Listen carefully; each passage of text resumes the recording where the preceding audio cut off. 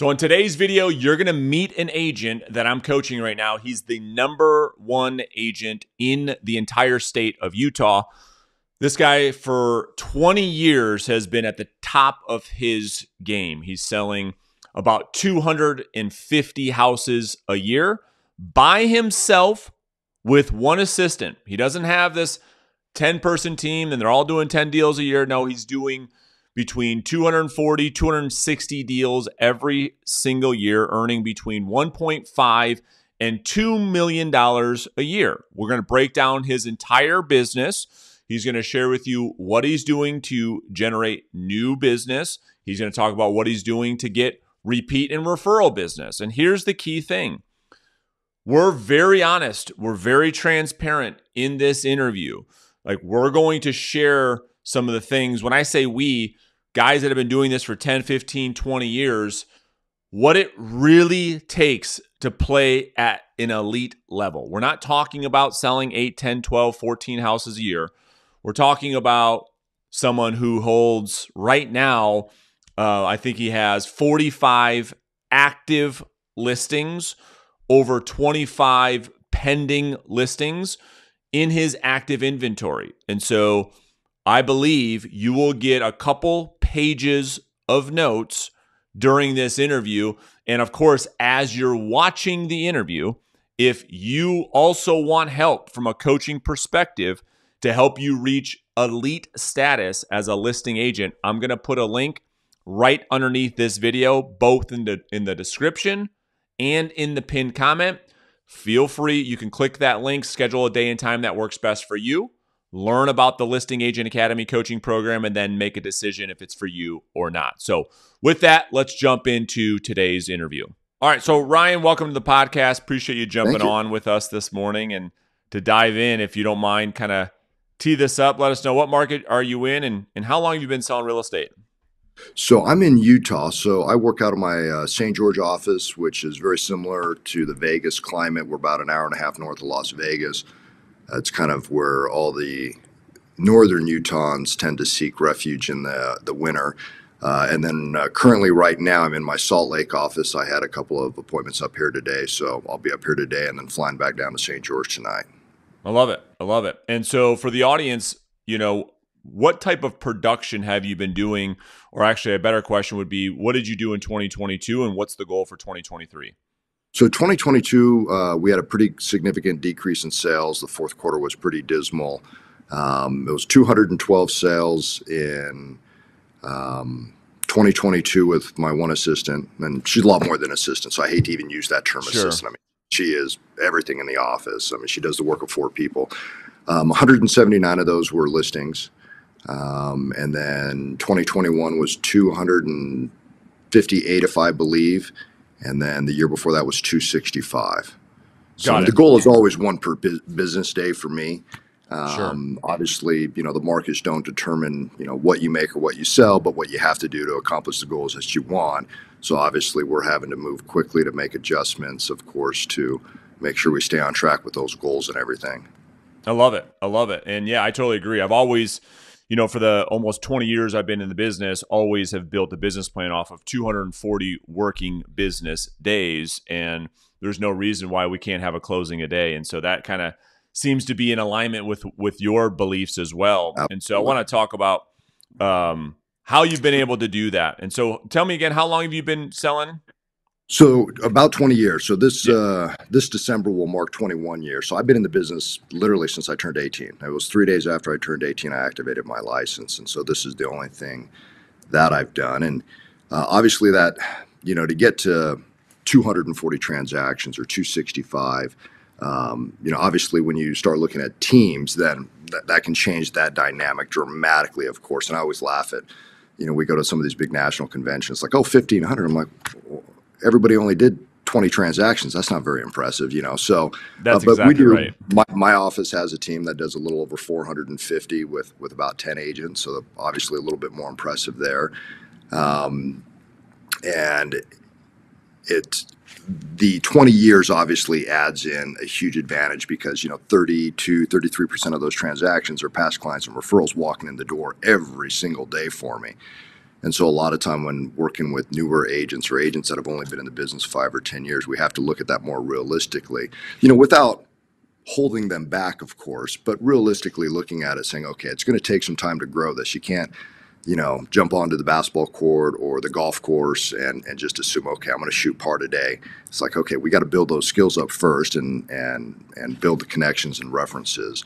Um, and, and even, I'll be honest, I, one of the things I always talk about, I was on the phone with Remax Gold, which is the largest Remax in the country production.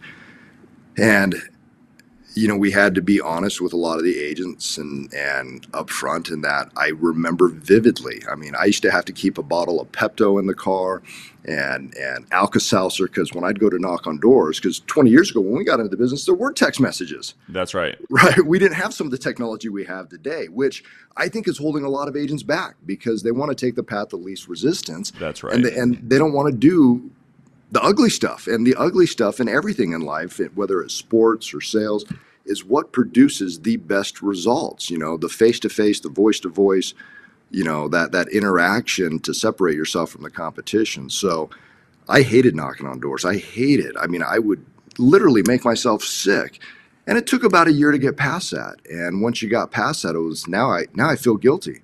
You know, if I'm going up to the ski mountain tomorrow or Saturday morning, I'll have all my calls in the car with me before I hit the slopes. You know, lunchtime, I'll hit them again. Sunday, same thing. I'm going to hit the new ones on Sunday morning before I hit the slopes.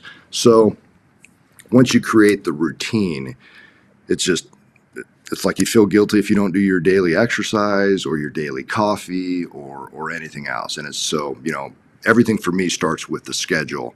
Um, yeah. The night before with my sleep pattern, making sure I've got the energy to fuel the day and then from there, it's like, okay, we've got to have that schedule dialed down, especially the prospecting hours, literally down to the minute. You know, yeah. you it's you only have so many working hours in a day.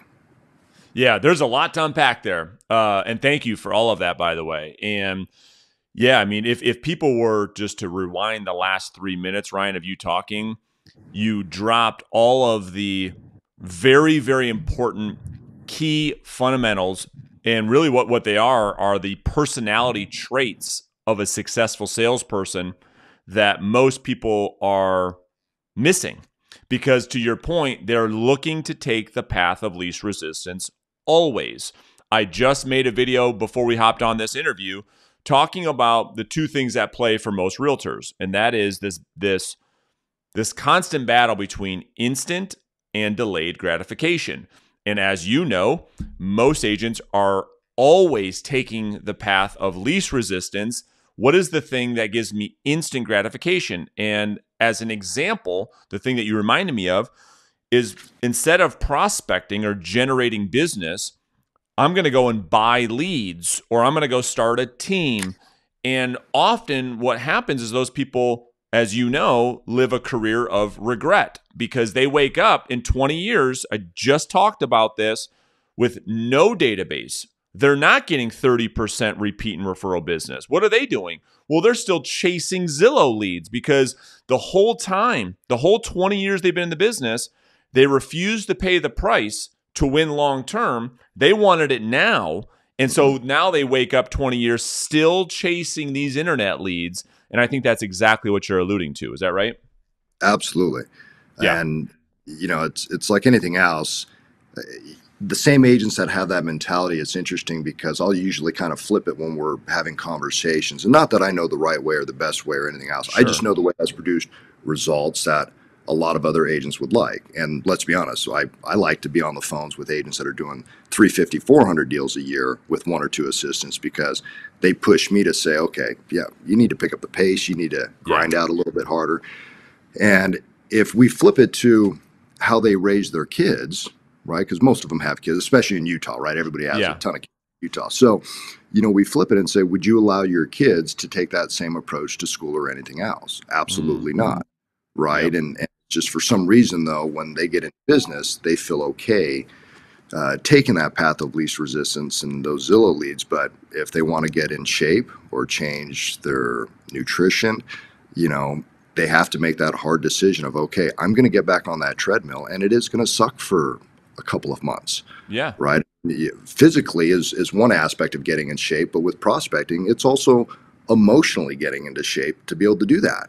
You know, when agents try to come in and do three and a half hours of prospecting, four hours straight, most of them can't do it. Physically, they can, but mentally, they just, you know, it's like after the third FU, they're done. That's right. You know, 100%. me, I'm like, okay, I'm getting closer. I'm getting closer. All yeah. right, one, one, of these is going to say yes now, right? Yeah, th- that's so, exactly right. And I look at I look at the game of succeeding in real estate sales very similar to that of getting physically fit and the process being very very similar because I think you nailed it. It's that even even in the world of people looking to lose weight and they want to go to the gym one time, they want the magic pill literally to take a pill, pull up their shirt and hopefully look for abs. Do I have any abs yet? No, no, it does, doesn't work that way. It's really boring. It's very mundane.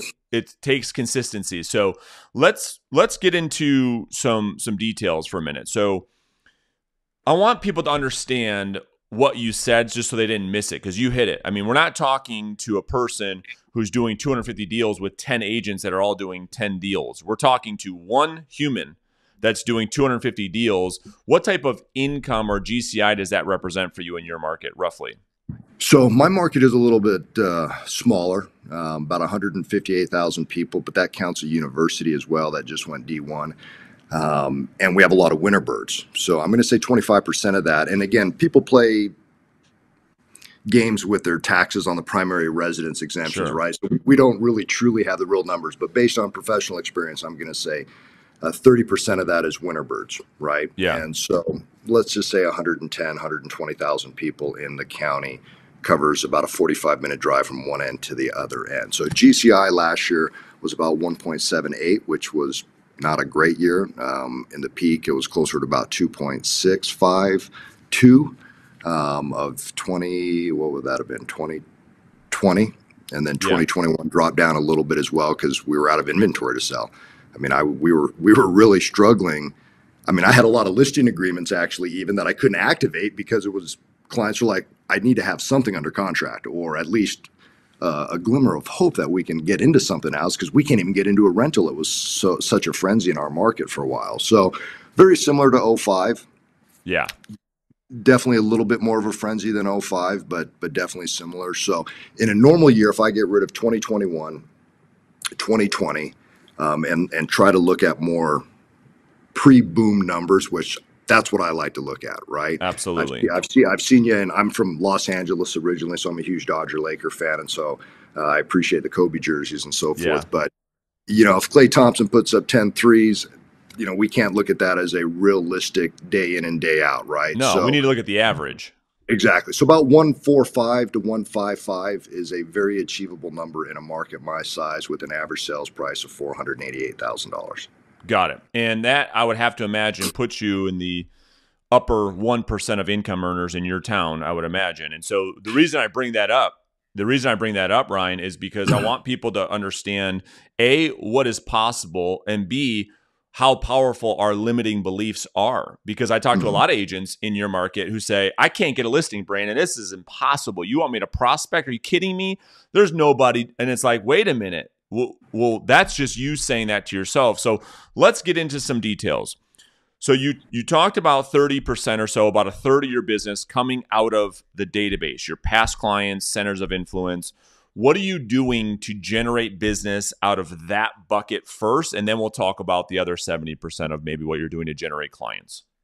So I'm I'm really old school, and I'm not saying that in, in a in a proud way. I think old school is great when it comes to not relying on our devices to simplify the process and avoid the voice to voice and the face to face, right? Or I find yep. with follow up, oftentimes people will reach out to the husband, but not the wife. Well, you got to have both, right? Yep. And so a lot of times it's more important to reach out to the quieter person in, in that relationship, which is oftentimes the female spouse, and make sure you're hitting both of them with those follow up phone calls. And so my system, I don't use the CRM. Again, not proud of that. I just, I never have. Um, as I told you right before we got on the call, because it's my prime prospecting hours, you know, I've got all the expired listings, everything right in front of me. I'm, I'm calling them, making sure that we're hitting them yeah. right off the bat, right? And so um, I basically have a bunch of sheets of paper, I mean, Yeah. literally filing cabinets Sure. with my notes on them from the conversations, the dates I need to follow up with them. And I switch. I, I definitely should. Um, we're seeing a lot more um, technology that can be applied eh, that'll speed up the process, of course. But all in all, um, it goes into a filing cabinet. My staff put it into, um, you know, a, a, monthly follow up. So I have the first through the 10th, the 11th through the, the 21st, and so forth. And I like to make sure I'm hitting my past clients and fair with with some exceptions, but at least once every three to four months.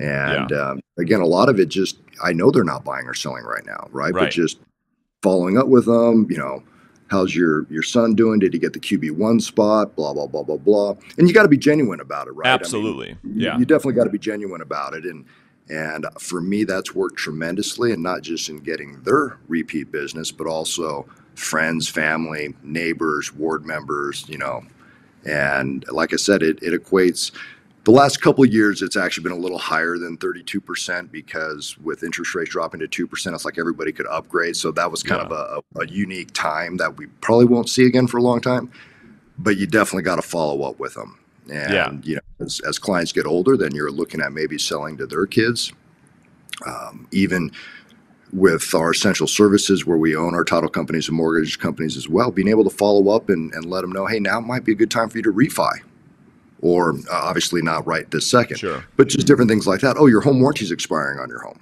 do you want to get that extended it just opens up a, a conversation in a non-threatening way to keep that ball rolling you know it's then- servicing the book of business. And the thing that you said, Ryan, my best CRM of all time, I think you'll like this, is a filing cabinet. And so all the agents that I've coached, you know, over the 6,000 agents that I've coached, the thing that works the best is my folder system. It's a physical folder monthly system. Just to your point, that's why I'm smiling because we're cut from the same cloth.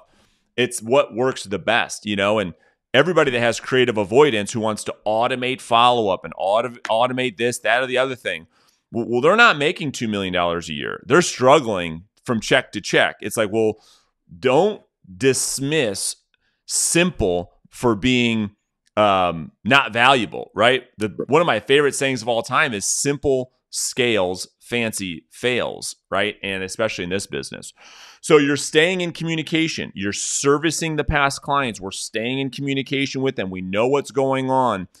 And so that is just so important because everybody's trying to avoid the face to, uh, the voice to voice conversations, right? And they want to automate everything. So now let's talk about maybe new client acquisition channels. So let's break down the schedule.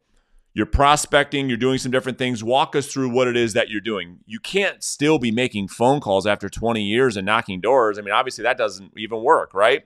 Wink, wink. I mean, that's what we're talking about here, correct? Absolutely. So w- when you brought up some stats on my county, so I'm number two gross commission income, um, and num- I've been number one in transactions for I think it's been 11 years in a row, um, and then I think three of the last five years number one in the entire state for all companies just in terms of transactions closed. So obviously I need to work a little bit more on not reducing commissions. Right? Let's just be honest. I need to get Sure. better about that. Right? And and and definitely focus a little bit more on the scripts and and the value proposition and everything else. But um, when it comes to generating new channels, uh, the daily routine again starts the night before. Right? Got to make sure you're getting the consistent Always. amount of sleep. Alarm clock goes off at the same time. I'm exercising at the same time every single morning, and then I'm in my office by 7 a.m. Follow up with any important emails that came in the night before. But then at 7:50, that's like okay, finish this cup of coffee and let's get ready. Put your game face on because when eight o'clock hits, it's time to roll. And that's basically when the buzzard goes off. And you know, you can do drills, you can turn the lights on and off, or you can make a buzzard noise on your sound just to, you know, psychologically get yourself into the game mindset. And from there to eleven o'clock is just it's just straight dialing.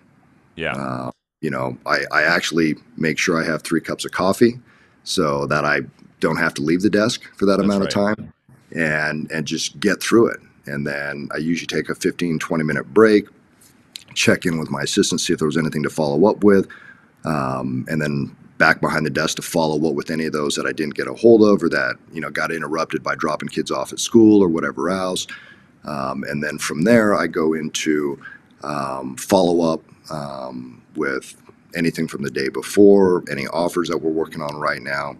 And then usually I like to book my appointments from one to four. And then in the evening, I like to do a second follow up with any of those hot leads. I love it. I love it. And typically, um, with your business plan, how many conversation does it suggest that you need to have on a daily basis, and are you hitting that on a daily basis? I, I am. I am hitting it on a daily basis, and that's something where if I'm in my actual office and, and I can show that and, and send you a picture of it. But basically, I just have a notepad. Yeah. And it's got a, a, um, a hash down the center. Appointments are on one side, contacts are on the other, and, and it's just the old archaic. I got to make 10 contacts an hour at least, and I got to get to 40 contacts a day. Yeah. And is that what That's- you're doing every day, Monday through Friday right now, Ryan? Yes, sir. Yeah, about Yeah. 10 contacts on Saturday and about five to eight on Sunday. Got it. Yeah. And so a lot of people that that we talk to, uh, whether that in our coaching community or just realtors in general, they still are trying to look for reasons on why they can't be successful. So when you talk about 10 contacts an hour, we see the average being seven. A lot of agents are like, well, nobody picks up the phone, Brandon. I mean, no, that doesn't even work anymore. But yet again, here we are having a conversation with, did you say the number one agent in in the state transaction wise? Yeah. Last year, number two, the couple years before that, number one. Yeah. And so, what would you say, Ryan, to an agent who says you're having 10 conversations an hour? Like, nobody picks up the phone these days. Are you calling expireds for sell by owners, just listed, just sold, absentee owners? Who are you calling? And what advice would you give to those that just believe in their mind for whatever reason that nobody picks up the phone these days? Well, I, just like I tell my 14 year old kid, right? Excuses are like buttholes. We all got them. They all stink. oh, I'm going to uh, steal that. right? I mean, I don't consider myself to be a highly skilled agent. And again, I'm not proud of that, but one of my greatest strengths is being objective with myself. And it's the skill I'm trying to teach my son as he plays with Olympic development program teams and other things. Know what you are, know what you're not. You hmm. know, the reason why he's not playing basketball anymore is because we're not a tall family. And it's like, all right, there's five kids on the court. One's the coach's kid, two or six, four. You're playing for two spots. Stick with football and soccer. So, anyhow, long story short, it does work. And anybody wants to see the 1099s, it works. Yeah. Um, but it's not what they want to hear. It's it's no different That's when, you know, well, I want to do the seven minute abs. It's like, okay, Yeah. it just doesn't work. We Yeah. we'd all have abs. We'd all make two million dollars a year or a million dollars a year, and you know, we'd all have the same Rolexes and everything else. It doesn't work that way. So That's right. people do answer the phone. You just got to call more. And That's right. That doesn't gotta do mean that you may not. Yeah, it, that doesn't mean you don't have to call that expired, canceled, or a hot circle prospecting call three, four, five times. That's right. Sometimes they'll. I honestly, sometimes they'll pick up the phone because they're like, "Why are you still calling?" Yeah. Because Yeah, I wouldn't I be doing it. my job if I didn't, Mister and Mrs. Seller, and, and just you know get into whatever I'm going to get into. Yeah. And they hang up on you. Call back. I'm sorry, we got disconnected. Right, and just you know keep it going. And sometimes they get really nasty. And if I don't have anything better to do that evening, I'll just drive by on the way home and knock on the door and apologize. You know what? I'm sorry I offended you. I thought I'd stop by in person to protect and promote the image of agents. So I wanted to stop by and just let you know I apologize. And they'll usually just be taken back and open up a conversation with you. Yeah, it's amazing. So 40 conversations a day. So my entire career, I always the minimum for our mastermind to be in our mastermind of anybody who is earning a million dollars of taxable income. We called it the, the daily 30, right? You can't be in our club if you're not hitting 30. You're doing 40. Here's the other objection that I'm hearing from agents. You want me to do 30, 40, 50 conversations a day, Brandon? I've got one listing I'm taking taking care of. Can you give people perspective of your pipeline, how many active listings you have, and yet you're still doing 40 conversations? I want people to expand their mindset because it's not like you work with one client here or there. You're probably sitting on how many active listings right now or pendings? Uh, so let me tell you exactly. Let me look. Yeah, and while you're doing that, you you get what I'm asking, So, right? The agent's like, I yeah. can't make that many contacts. I'm busy. So I have 48 active listings, 48 active listings. Okay, and which is a low number for me. sure. Uh, and again, let's exclude 2020, 2021. yeah, yeah, You know, if we go back to 2018, 2019, that's a low number for me. Uh, there's 32 pending right now.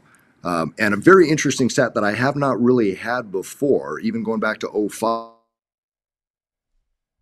listings in withdrawn status, Mm. meaning they couldn't accomplish their goal. Interest rates went up, so we couldn't sell uh, because they couldn't now qualify for their new home, or their bill job was pushed back, right, because of supply chain issues and things like that. So, So I'm working through those, and that's something that I haven't experienced before. So I've had to call more experienced agents and say, "Hey, what what other things can I do to get these back out of withdrawn into active?" Sure. Yeah. And so you you you have a huge inventory, right? For, 48 and that's lower than what you're used to. And, you know, a lot pending, a lot going on. You're doing this with how many staff members? You said you have one assistant, is that right? Yeah, just one assistant. So so the question is when it comes to high performance, you know, the key thing in my experience has been our ability to not invite distractions because most of us are looking for distractions, looking for the reasons on why we can't prospect. How are you able to stay focused and get in those 40 conversations when you have a lot more going on than than most, right? You've got 70 something clients right now that you're also managing with another human being. So how, how are you able to stay focused, Ryan? So obviously, a lot of that comes down to the goals and making sure that every single day you're committed to accomplishing the goals that you want. Again, the schedule is the most important. If, if, if you want to get something done, you want to ask a busy person because their schedule is usually more efficient. They're going to get more things done. Um, and so everything for me always reverts back to having a really good schedule and making sure that you follow it with no deviations. Now, when, when I'm dealing with agents that are selling 40, 50, 60 homes a year, for me, I tell them, no exception, you don't go on a listing presentation at this time to this time because you need to be prospecting. Now, when you start selling over 100 homes a year, you've kind of earned the right, I guess you could say, maybe. And I know the agents that sell 400 homes would disagree with me because they're like, no, when you get to 400 homes, you can deviate. Sure. But the agents I see that do over 100 homes a year can get back to the office and get back on their schedule without missing any steps. So, like you said, oh, well, this expired just came up. I better go knock on this door. Well, that's an excuse to get out of those phone calls during your prospecting hours or refill your coffee or take a phone call or go to a PTA meeting or anything like that. And I do have to give again my staffer credit. She's been with me 14 years. I, I joke it's like the longest relationship I've ever had with a woman, right? But um, exactly. she uh, she's amazing. She does the work of four people. So again, I, I have to give all the credit she deserves there because normally I would have to have three or four doing what she does. Just like I guess most agents would have to be three or four agents to get the amount of prospecting done that I do. But the groups of agents that I talk with and hang out with and have been affiliated with in different states, again, they have no problem doing this either. And they're producing because they're in bigger markets a much greater gross commission income than I am. I mean, we're talking in the three and a half to four million dollar range, Sure. and consistently doing it. And so, they actually produce better in the slower markets actually because commissions usually go up, right? You know, That's it's been right. a race to the bottom for lenders and, and agents right now. And so they actually produce better. Plus, in a normal market or going into a recession, you got 73% less competition out there.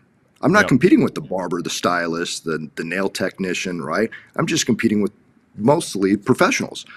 So the schedule is going to be the most important thing in, in getting that done. And then you just got to commit to it and you just got to make those phone calls. No exceptions. I, I don't, there, there just isn't any exception to that at all. Yeah, I totally agree.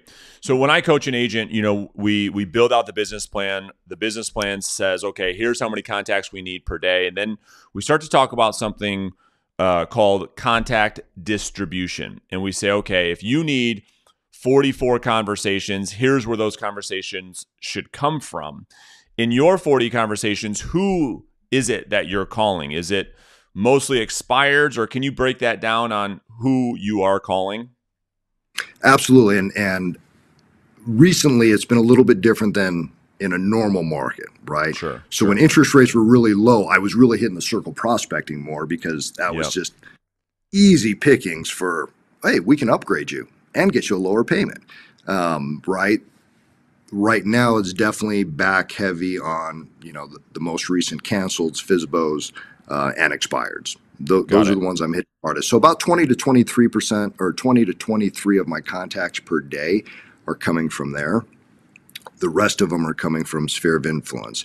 And for the last two months, honestly, and again, I'm just being 100% transparent, I've cut circle prospecting out, not on purpose. It just kind of happened because I was so busy getting to the, there were so many cancels, so many expireds, and a lot more for sale by owners all of a sudden. So I need to get that implemented back in because no matter what the markets are, I always feel like you should still hit every aspect. Now, you might want to change the percentage of time spent on each one, but the circle prospecting lately is, has not, for my market, proven to be as good. And then, you know, I expect here in the near future, we'll probably add back in the notice of defaults again a little bit more aggressively, right? Because I'm starting Absolutely. to see those go back up.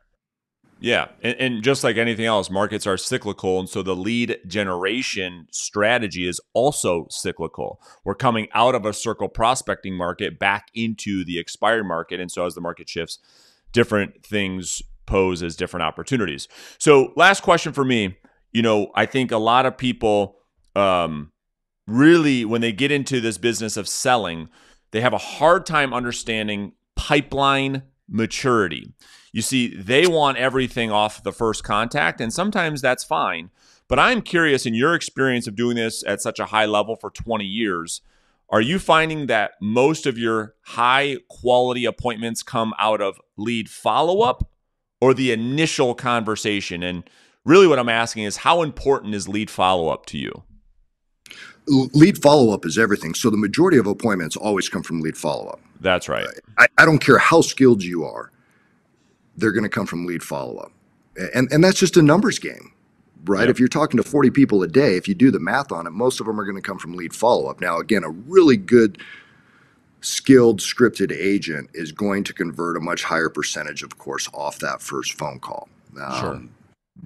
But with 40 phone calls a day and only, you know, maybe let's say 10, 15 expired cancels a day, do the math, you're going to get more from lead follow up, of course. Plus, then your pipeline, um, those are much easier to close.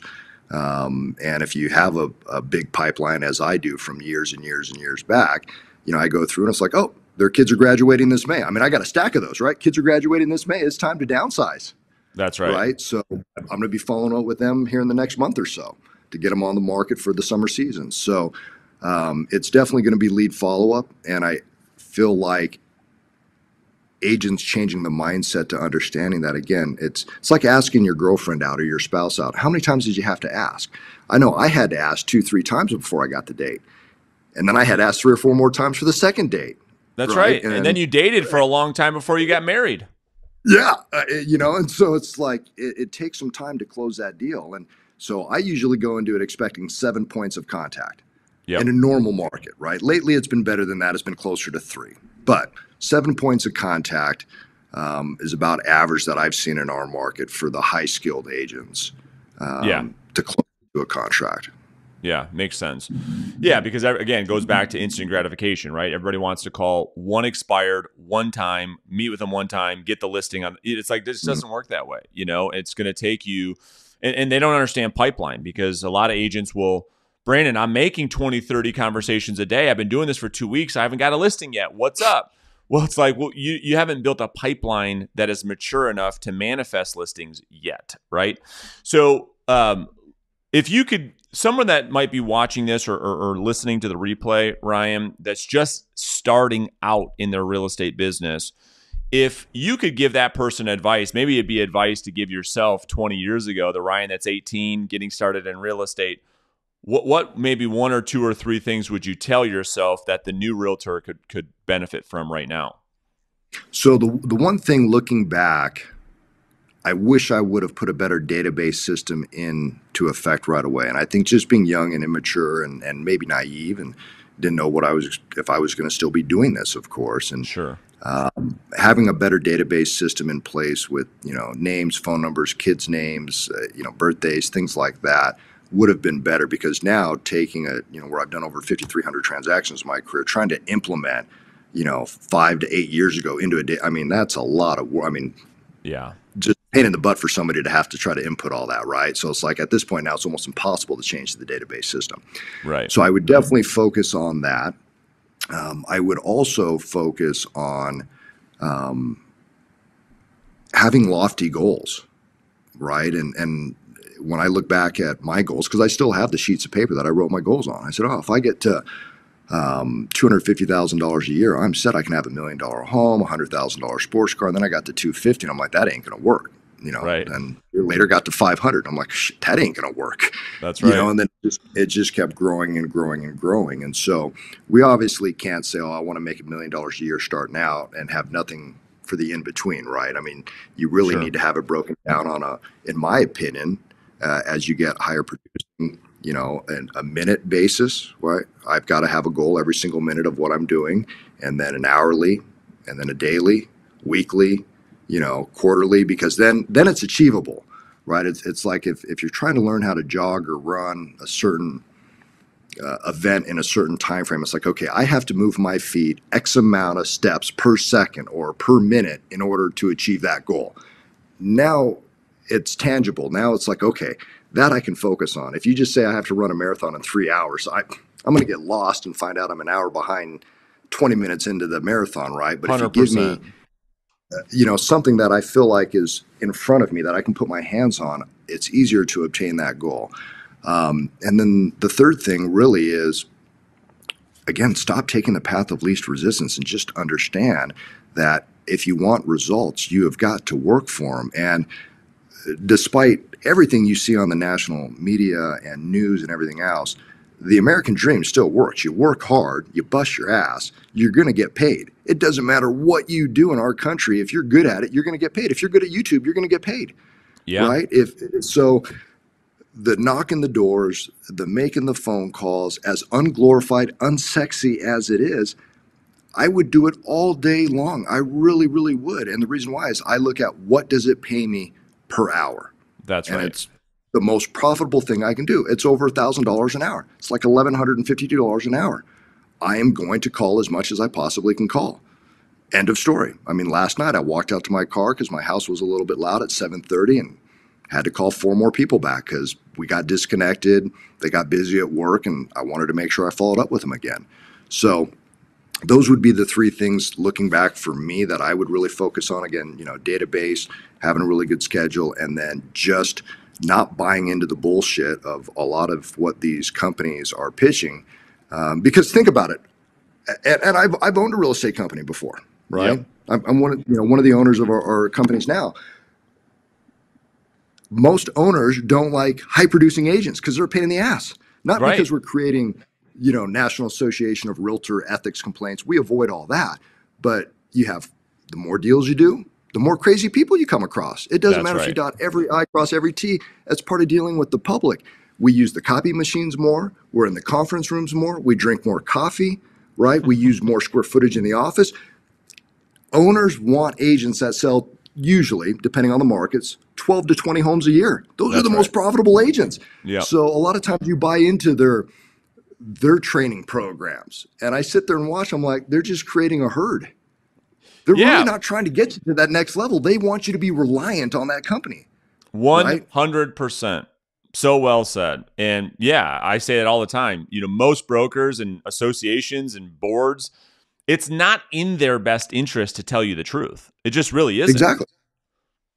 It's not. It's- a- absolutely. Just like the government, right? The government's That's not going right. to come out and tell us the truth about certain things. And so why do why do certain companies not bring you in and hire you specifically is because it wouldn't be in the best interest of their bottom dollar to hire you and bring you in to get all their agents producing higher.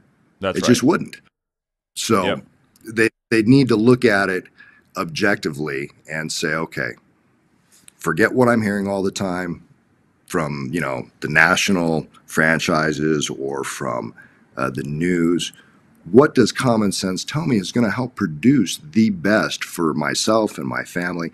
And unfortunately, it's usually what we don't want to hear, right? It's it's it's oh man, if I want to get in shape and have abs, I got to exercise every day. I got to sweat and I got to push the limits.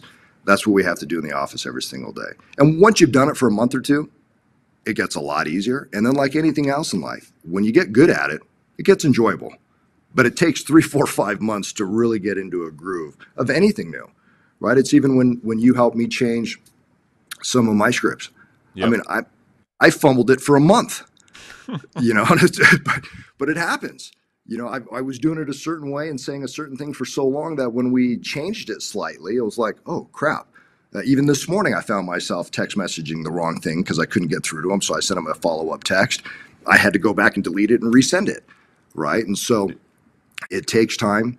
And uh, ultimately, if you have the goals and the commitment in place, you know, and with your help, they'll get there. Yeah. Well, Ryan, listen, I appreciate you very much. Obviously, uh, you've got a lot to do, so we're gonna let you get back to it. Um, and I'm I'm looking forward to going on the journey and watching you continue to grow your career. Certainly, you've you've done very well for yourself, and so we appreciate you jumping on the show. No, thank you very much, sir. Appreciate all your help. We'll talk to you soon, Ryan. Thank yeah. you. Take care. Thank you. Take care. Bye bye.